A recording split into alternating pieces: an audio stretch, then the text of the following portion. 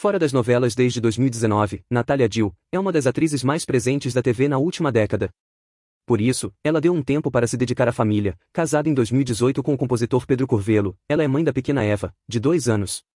Hoje com 37 anos, ela pode ser vista na reprise da novela Escrito nas Estrelas no canal Viva, e estará na novela Guerreiros do Sol, no Globoplay com estreia prevista para 2024. É a primeira novela que faço sendo mãe. É muito interessante. A maternidade exige uma logística. Mas a vida foi carinhosa comigo.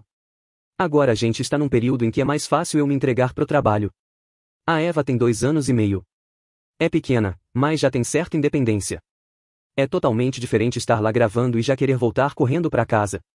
São vidas diferentes, mas ao mesmo tempo, a maternidade traz mais sentido para tudo, comentou Natália em entrevista ao jornal Extra.